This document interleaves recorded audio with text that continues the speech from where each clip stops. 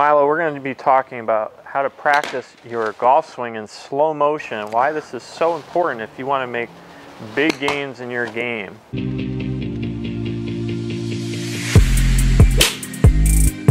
And we're here at your house. We got the rocket net in the background. Make sure you guys check them out. Get yourself a net for this off season. We're going to be talking about how to slow things down, why it's so important to improve. One of the, the biggest keys for learning a new movement pattern is breaking the pattern down to a rate of speed where you can feel the difference and do the difference. When you go full speed, though it may feel different if you record yourself, I would venture to guess it doesn't look any different ever at first, unless you learn basically look the same over and over and over again. I know because I have experimented with it. And I have a hard time making my golf swing look different unless I go slow for a minute and then I say, okay, now I can try that a little faster. Mm -hmm the best players in the world, when they want to make changes, they slow down. Other sports, when you're learning a new pitch or when you're learning a new play in football or in basketball, you walk. Yes. so you walk. right. Literally. They call well, it's it like, Well, it's like it's not even just like it's also learning the form. Yes. You hear about in other sports they're talking about your form needs to improve. Your whether it's catching or throwing or sprinting, whatever. So they slow that down so their form improves, then they can speed it back up and their efficiency goes up as well. Yes. So same thing here. Let's say you're watching our channel and you want a more rotational golf swing. Should I go from this motion to all of a sudden adding rotation at full speed? You could try, but you'll probably be worse. If you want to actually put the pieces together correctly, first of all, you need to understand what pieces go together. Yeah. There's a whole series of matchups. When we add rotation, we also have to add a lot of other things. It's not like you can just say, okay, I want to rotate now. Yeah. Well, you, you could try that, but you, if you were already hitting the ball fairly decent, and now we just add rotation, we just, we just threw a whole wrench into what you do. Yeah, you could be watching our channel and get real frustrated real fast and yeah. think that there's a better solution for you out there. And and it's not about just a swing tip here or there that's yeah. going to make you better. You need to understand the pattern. That's why slow motion is critical if you want to actually make a change. So you understand all the puzzle pieces and you learn to put them together slow. Yeah. And then you learn to put them together a little faster and a little faster and a little faster. So this is why you essentially created the Milo Lines Golf Academy. So you could not only reach people online and outside of here in Arizona, but also so you could sort of show a step-by-step method, yeah. break it down, and then give individual analysis because everyone's different. Everyone has different needs. Yeah. But at the root of it all, getting better is slowing down and, and sort of adding these pieces together, yeah. right? So you got to puzzle them together, and then once you've kind of got the puzzle organized and put together, then you have to figure out how to speed it up again. So when you say slow, how slow are we talking? A lot slower than most people think. I have people show up on the practice tee all the time. Yeah. And when I slow them down and I have them hitting the ball sometimes at the beginning five yards, 10 yards with the full motion. So we're going through a whole motion and the ball's going five to 10 yards. They think, holy cow, now That's like I barely past this net. Yeah, it's just fast enough so the ball will go like this and almost be hitting the coming down when it hits the net. All right, let me try that. I don't even know if I can go that slow. So do you want the whole motion that slow or do you want it more slow at the bottom? I want it all slow. Oh boy. it's like first we're just puzzling it together. Too far. No, that would have hit the fence about seven yards, eight yards. That was good. So, and then what you can do as you slow it down is take a video of yourself. And see if you're doing it right. Once you have an idea of what you're looking for, what you're looking to improve, mm -hmm. especially say you're on our academy and you have a clear game plan of what you need to look for, you slow it down, it's a lot easier to see those things versus going all out, right? For sure.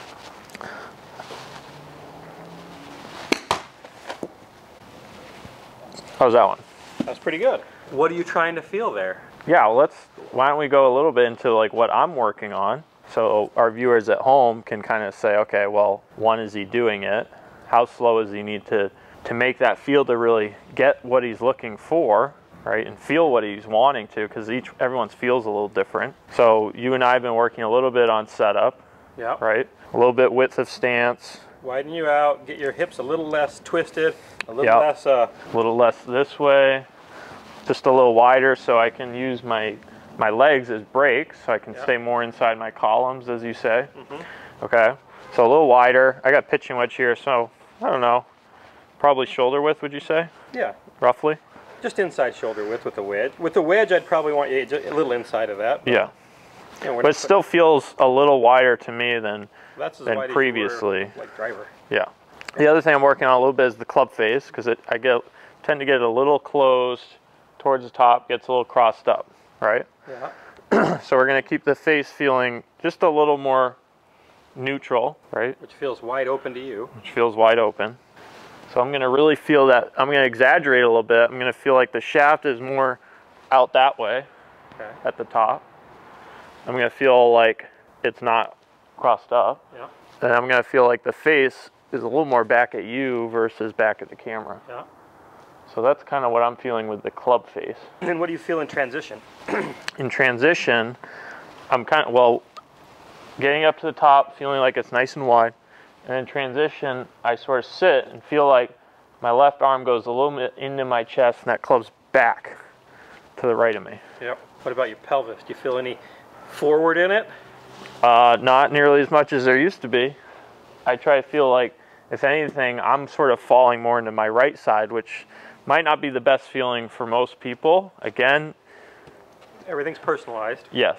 For me, I've had a tendency to get a little lateral, a little slide. So feeling like I'm dropping more into the center, or even feeling like my tailbone goes a little bit into my sort of my right heel. Yeah. If I can, is Kind that just behind.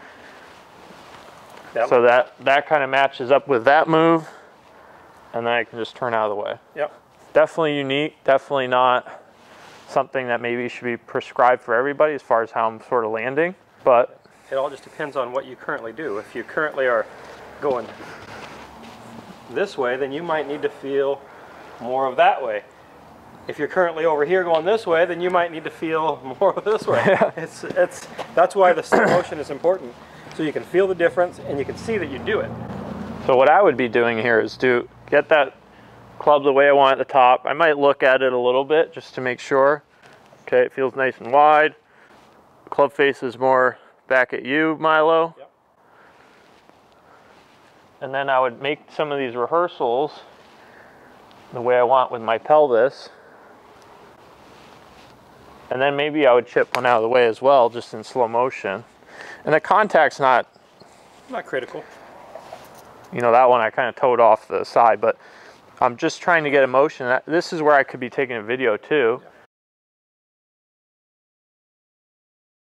And make sure my, my, my rehearsals are really good.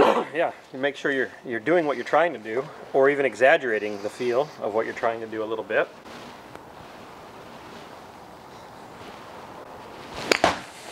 So that was nice and slow. Yeah, that was good.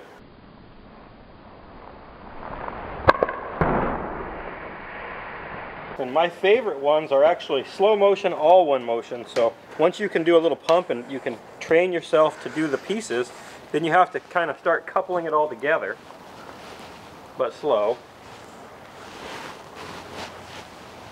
Yeah, that's money right there. And the, it takes some attention out, so you can really feel the club head. You'll get a little better uh, understanding and awareness with the club face. So for me, that felt like it was back to the right of me. The arms sort of felt like they stayed back, not down, but of up and back. So you'll just get a lot more awareness of what's going on when you can slow it down. Yeah, that's perfect. So this is where, again, video, we'd go watch it, say yes, no, gotta add a little of this, take away some of that. Feedback's key. You got to have a feedback loop so you can see it, put a feel to what it looks like, and then come back and do it again. And you keep progressing. And then over time, once you start to get it to look how you want, slow, start speeding it up slightly and just see what happens. And it usually, for most people, it starts to fall apart somewhat, somewhat. but eventually, it starts to show up how you want it to. Yeah. All right, well, you're the king of this, so I, I wanna see a few from you and what you might be working on in your swing, if there is anything you're working on, I don't know. It's been so long since I played golf that I don't know if I, I don't know what I need to work on. So what I generally am always working on is just making sure I'm completing my turn. That's where I struggle. I get a little short. So I'm always feeling like I'm creating a nice wide arc.